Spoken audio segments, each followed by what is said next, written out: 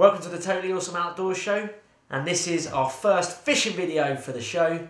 We're going to be doing something a little bit different in this video. We're actually taking bikes with us. So I'm going to be doing some perch fishing uh, personally, and Dad's going to be on the pike. The bike I'm using is just a kind of regular mountain bike with front fork suspension. What's the bike you're using, Dad? Uh, mine says baby runs. It's a kindergarten one. I rubbed it off a young three-year-old. It's got sta- it's got stabilisers on either side. I've sawn the stabilisers off and thrown them away.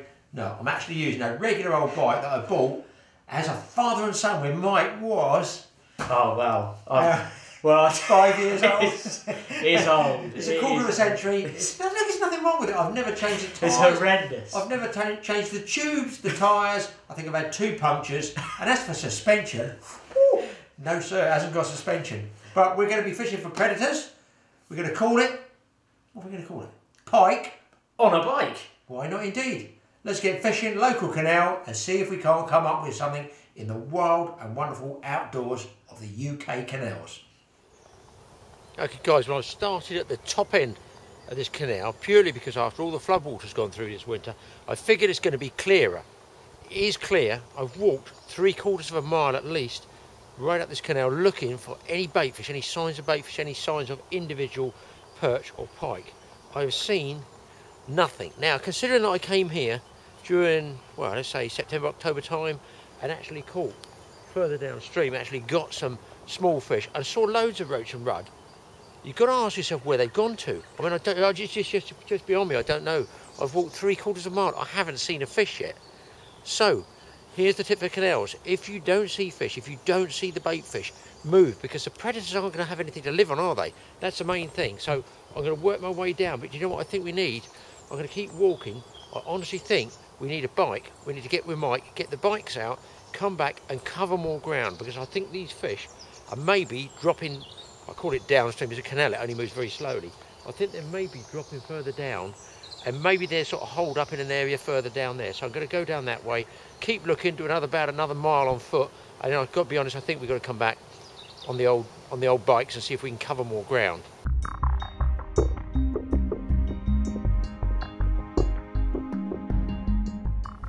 Found my first bit of fish, guys, and it's below this barge. So that acts as a feature. So it must have been here a while. It's what they use as a dredging barge. Got a huge, great big void in the middle. And just down here at the bottom, some little one inch long fish. I guess it's something like roach fry or something like that. But you see, by walking all that distance, at least I found a sign that the fish, where the small fish are, there might just be some predators.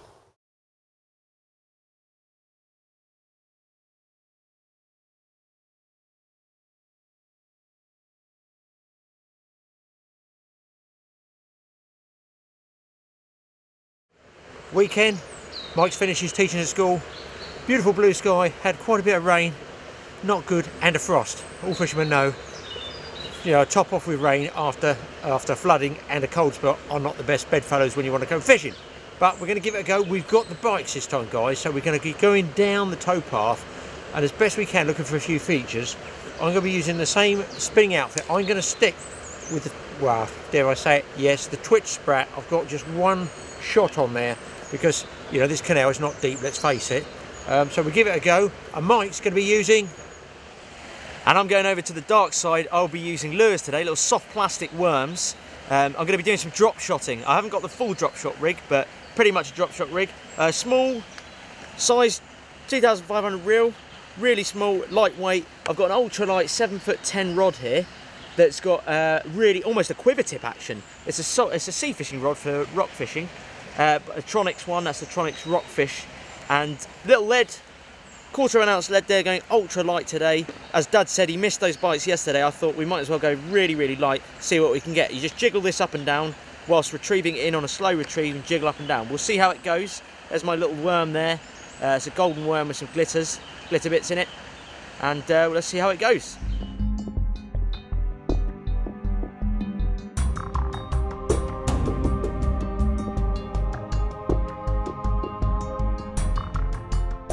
Being out in the English countryside on a bike is not just awe inspiring. It doesn't just allow you to get out there and see some fantastic scenery. You've also got good exercise as well because you can cover so much more ground when you're on a bike than you can when you're walking. and you can go along looking for different places. You can try and work out where those features should be. Because don't forget, many canals do not have features like this little waterfall here where the inflows come in.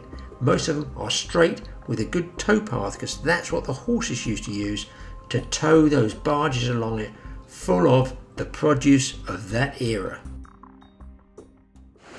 Now already by using the bikes we've travelled a little way down and there's a culvert stream that comes in here. Um, one assumes this is draining off the land all the time because we've had so much rain it's really pumping in. So it's most peculiar having an almost barely moving canal with something that looks like it should have grayling, rainbow trout and salmon in it. But we're going to get a little shot here because this is a feature and that's what we're trying to find. But I will give you a little totally awesome tip. There's a circulation area here caused by the moving water that creates sediment. Also, down here in the storms, and we've had a lot of those this winter in the UK here, you're going to get branches and sticks. Now you need a pair of polarizing glasses to be able to spot those. And what you're looking for are the dark areas in the water where the rubbish lies. As we say in most of our videos, a lot of what we're trying to do today is sight fishing. So get yourself a peaked cap like this, some polarizing glasses, and we're early in the morning at the moment. We've got a low sun, it's winter time, so the sun's really low. The sun's coming at us from the opposite bank, which makes really big glares reflecting off the water. You need to shut down that light as much as possible. We're trying to spot things like features, uh, the roach in there, uh, rudd, perch, pike might be lying there still. All these things you can miss if you don't have these on your head and on your eyes. Now canals uh, tend to not known for features, but we've got a feature here as you can hear. Uh, we've got a wall coming out this culvert and what we want to do is perch and pike and things like that, they won't be in the fast water. They'll be sitting on the edge of that fast water waiting for those small bait fish get caught up in it. As they come out, they pounce on their prey. So ideally that's a great spot for a perch sitting right up tight against that wall. So I'm going to cast my little drop shot lure here, this worm, right up against the wall, not too close, I don't want to lose the worm, just up against the wall. I might let it sit there for a bit and jiggle it just on the spot. That's the good thing about drop shotting. You can jiggle it on the spot. Let's give it a go, we might get something. There's no doubt that drop shotting for perch has become extremely popular in the last few years. You can leave that little lure in one spot and barely jiggle with the rod top. A totally awesome place to fish would be right up against that wall. You can see that's where perch will be, that's where baitfish will be, and you barely move the rod top. Just jerk it away and give it some action. Now you have to take advantage of every little feature you can find on a canal. And here there's an overhanging bush and trees. Chances are there might be some snags and branches on the bottom there, and that could be where a perch or pike might lie. Always worth a few shots. Hey, don't waste any time. Six casts, move on to the next swim.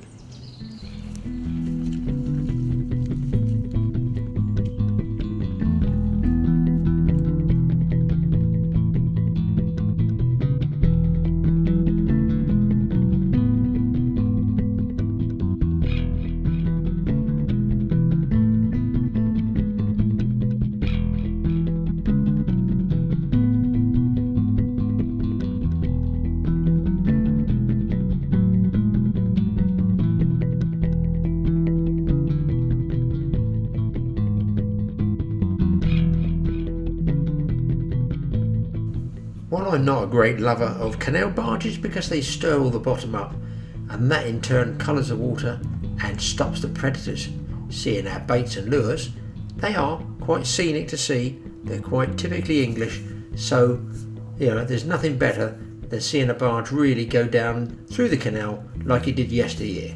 I just wish that it didn't go through my swim on the same day that I'm fishing there. You know what, guys? Every time I do this, I'm attacked by boats on this canal. It's a Saturday. It's the only day Mike could get off. Just, every time he goes through, he churns it all up and ruins the fish. He can't help it. It's the way it is. But you know, there could be a problem. If only I could get something like a Mauser, uh, a battery of M16s, and put them back in this old World War II bunker. A machine gun post would be absolutely money in the bank and a good day's fishing. And this is what they used to shoot out of years ago. Now there must be a bridge around here somewhere. You can see here how it fans out so they had the barrel of the gun coming out here and can pan all the way across. Don't think they can just shoot straight. They can move it and cover a huge arc there. And one assumes all across this field here would have been where the baddies were coming from. And I bet, because we used to play around these areas years ago, there's absolutely no chance of getting in here. You can see it's covered in moss. Look at the moss on this now. Really old. Oh, there's a little flap there. Look, that's the original flap. So you wouldn't even know they're in there. Just go.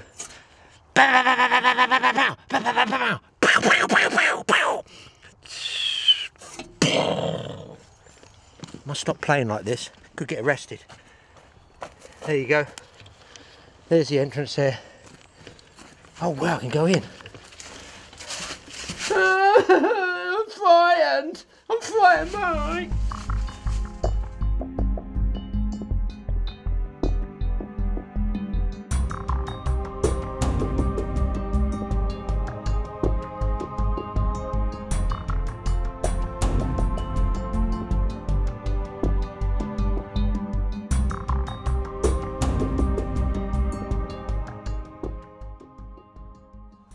This might not look much, but we're on a bend here, uh, and we've got some, a few overhangs of the trees here. There's probably going to be some snags down here, uh, some good hiding spots for perch, hopefully. Uh, still a bit coloured down here though, but you've got to be in it to win it. And if ever there's an overhang on a canal, you can't not have a cast at it.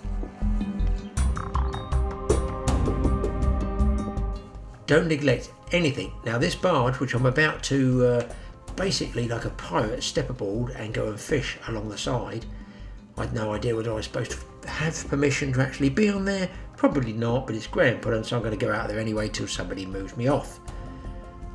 Don't neglect the sides of barge. Now, even though that's a dredging barge, you know, there's spots along the front there, right along the front of it, that's worth flicking those lures into anything you can where you think the fish might be over by the far bank in the shadow line thrown by those trees and bushes and just look here I found an underground culvert that goes underneath the canal in goes the underwater camera and wait till you see this lot an absolutely massive shoal of I'm guessing minnows and I did see the odd dace or roach flash through there that's what the perch are going to be looking for even the small jack pike would love to be there, and you can see how many there. A perfect size, and that's presumably why the drop shot method works so successfully for perch.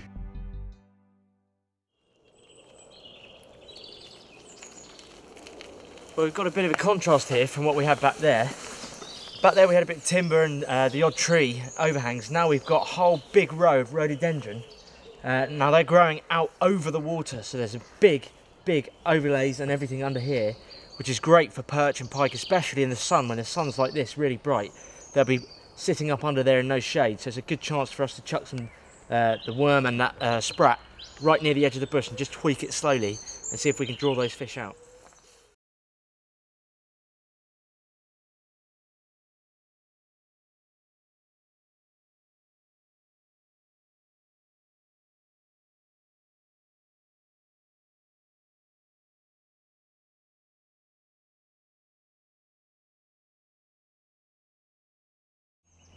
And when you're out fishing, especially when you're doing something like pike fishing, you get to see one scene. As a photographer, that's what draws you. You might not catch any fish, you might not even have a handy camera with you, and that's when you need a big camera.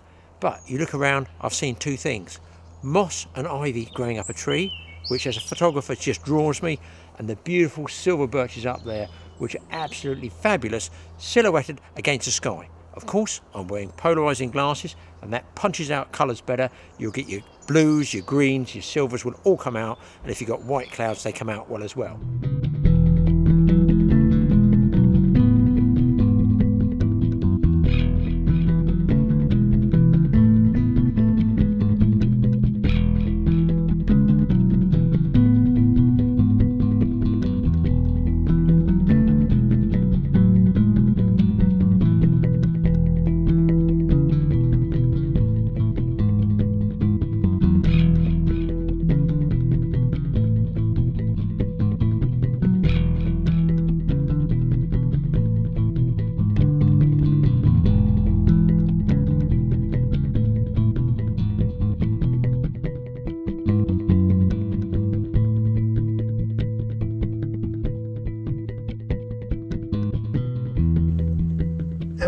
No match fisherman, I will always try and go along, and if they'll speak to you, just see what they're catching, ask them what they're catching, ask them if they've been bitten off by pike, are they getting pestered by perch when they're reeling in small fish, are they even catching perch if they're using something like, let's say, chop chop worm, a lot of them use chop worms, fishing in close, you know, that's going to tell you to come back there and try with, with a drop shot rig. So always, if there's a match on, you know, take the time to go and ask and see exactly what they've been catching. It's a good pointer to what else is going on and it might cut down and target the fish in a much tighter area. Also, don't forget you can go along the edge of the bank if there's slightly deeper water and just work that drop shot lure close in there. That bike enables you to get right out into the countryside and most of the places people will come will be from car parks and also easy access points. With a bike, you can cycle to bits of the canal that probably don't get to see too many people. That's what it's all about, but take a pair of polarizing glasses because that cuts down the glare and it enables you to see not the fish so much, but presumably you're going to be able to see the odd sh- snag and, you know, drop off or anything like that. Colour weed. Now, I've actually got a different sort of hook here to the traditional drop shot hook. Because of the winter storms and the maintenance that they're doing on this canal, I've got a little jig hook here so that I can Texas rig as well as do the drop shot, traditional drop shot rig. So I've got a Texas rig hook type hook and I can Texas rig my worm like that. So it's still directly connected to my main line and I still get all that sensitivity through the tip as I jig with the lead just there. But that's for when it's snaggy. Okay, so the, that's that hook point is actually inside that worm as a fish goes to bite it from this way. They pull the point out like that, and then it pulls onto them into the lip. So that's the Texas rig. But I can also, and this is why I use the jig hook, not a drop shot rig hook. I can also do the traditional drop shotting, which you would do with this a worm like this. Is just nick it through the head and leave it just like that. So that way you can jiggle, you can still jig it up and down, and you've got hook points showing, and that way when a perch or a pike, you probably wouldn't want a pike because there's not a wire trace here, but when the perch take it, their lip, they're nice and easy hooked with that open point there. Now you can cycle along with a knapsack. I'm holding my rod, best probably to take it to pieces, you know, and don't rig it, put it up on the crossbar, make sure it doesn't tangle up with anything. But why not cut down that gear and travel really light, get yourself one of these multi-pocketed jackets, and you can put your lures, your forceps, everything in here, and some of them have a zip at the back. Fly fishing waistcoats are good. You can put your weigh bag in your waist sling. I've got a little pouch for all my traces, my shot, scissors, whatever I want in there. But more important, guys, you do not want to put a pocket full of plugs in your pocket without these little kiddies in here. And these are treble hook covers, and they're just plastic. Obviously, they take the treble hooks, but they cover it right, right up like this, and that way you can pop them on and pop them off, and you can actually travel with a pocket full of lures like this, and not get them go through your pocket lining. Traveling light on the bike, way to go.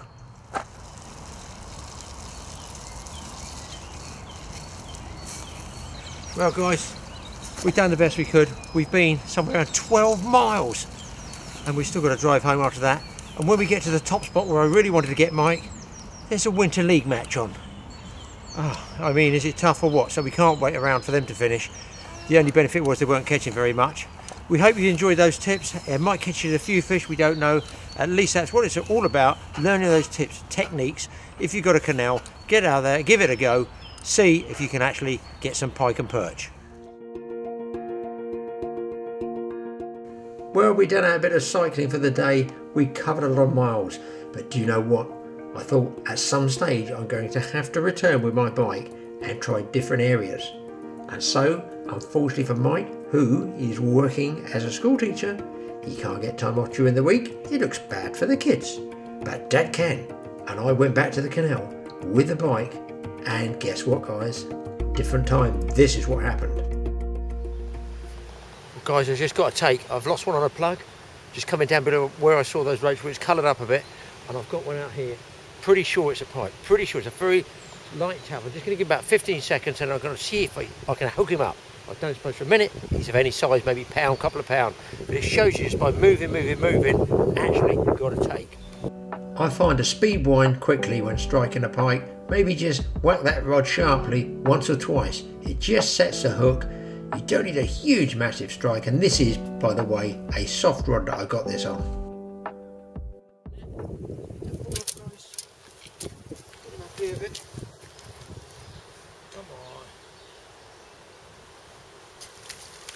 Success in every packet.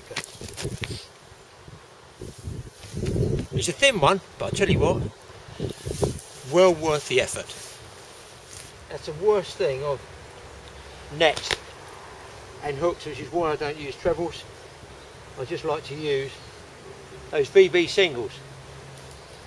Oh, just hooked in there. Come on, open up. There. There we go, people. Let's bring him up. Didn't bring the big camera today, guys. There you go. A nice little jack pike. And they've still got all those miniature teeth in there. They're the same as the big boys. Hopefully this one was going to grow into one of the big boys.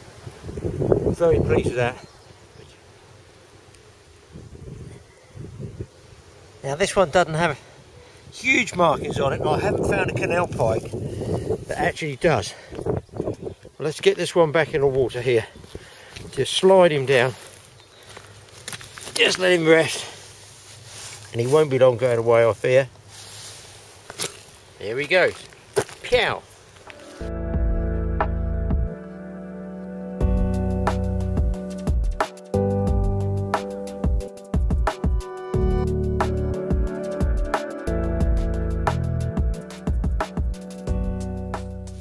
So actually think that bridges were designed take roads and carry people. Wrong. If you've forgotten your fishing umbrella and you're on a bike, it's the only place to come get out of rain and pain.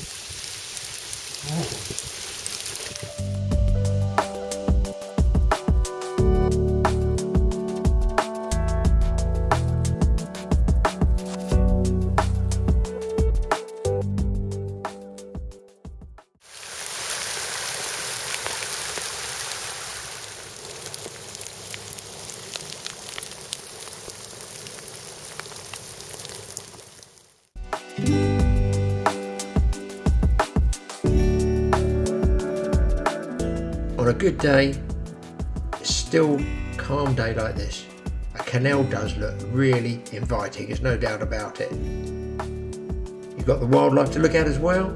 Obviously, you have other walkers, and I love fishing in a blue sky, clear day. Unfortunately, that's not always the best time to go fishing. But what do you do, guys? Get out on that bike and at least give it a go. You're sure to enjoy it. Guys, I couldn't resist to have one last go down here. Just see if we can't put some of those tips into practice. I've actually got a take on a really ridiculously light rod.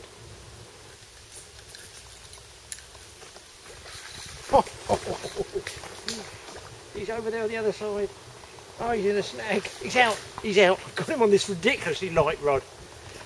It, it was literally a tiny rod, twitch sprat, and that shows you it worked. Here he comes, here he comes, here he comes. I'm going to net this first time, guys. Here we go. I've got the branch as well. There is the proof of the pudding.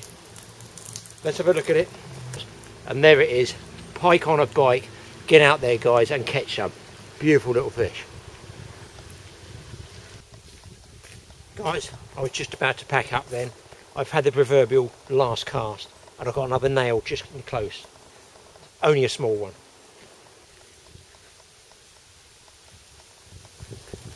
And he's dropped him. What a devil. There is the proof of it. I don't know if you can see that.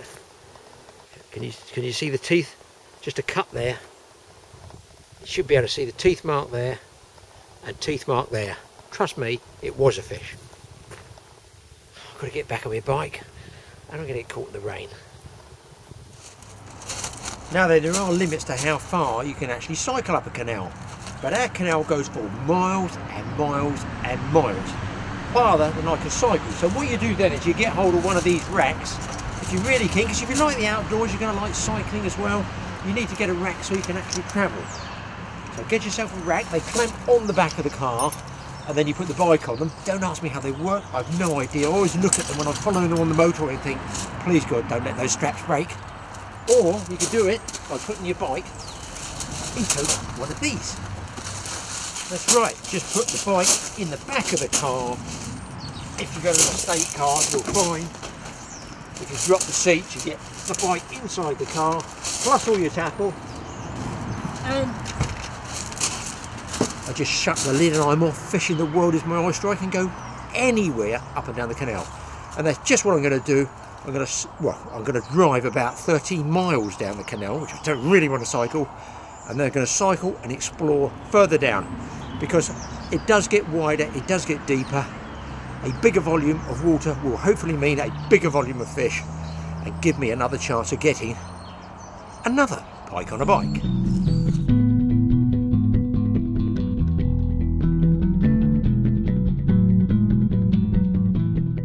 This time I was miles and miles from home, a totally different area altogether.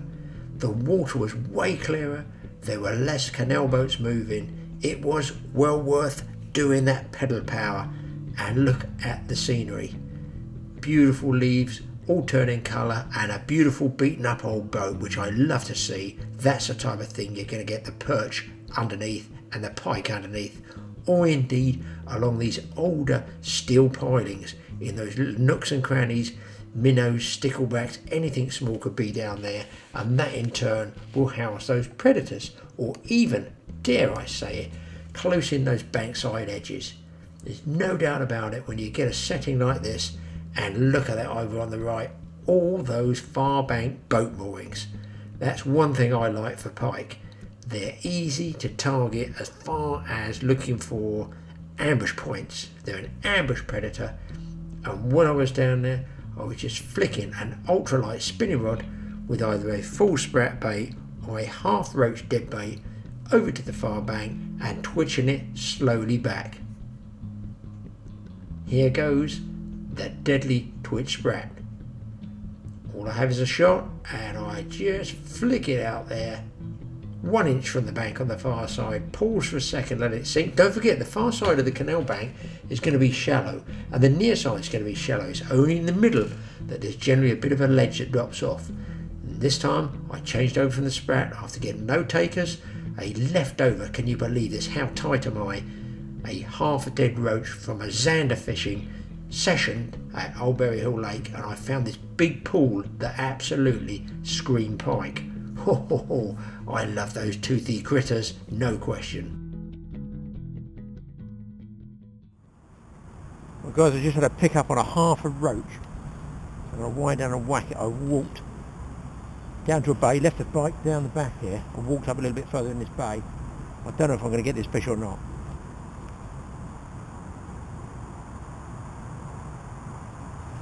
He's on. He's on. Oh no. He's going to go in a snag, is he? Come out. Come on. Come out.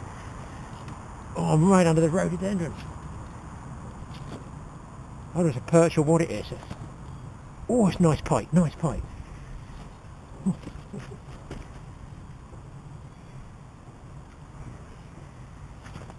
a single hook and a half a roach. And a jumper. I feel. He's gonna go. There I left it. Spat the bait out and jump as well. Wow, he's going now. He's right over the back by those roadies. There he is on the surface. Pike on a bike, I love it.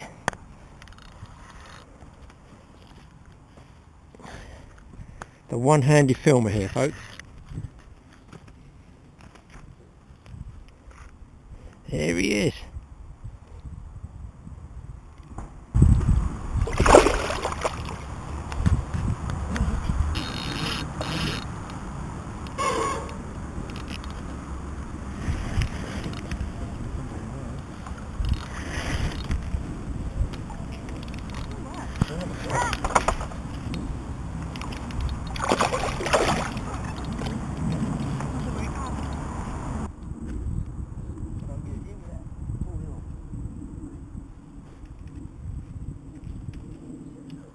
There we go people. A nice pike. I knew it'd be worth coming out again. I've travelled miles. I don't even know where I am. I've gone past Mytchett, I've gone past Frimley, I can hear the M3 motorway. It won't be long before I'm cycling up that as well, looking for more pike on a bike. Let's get him back.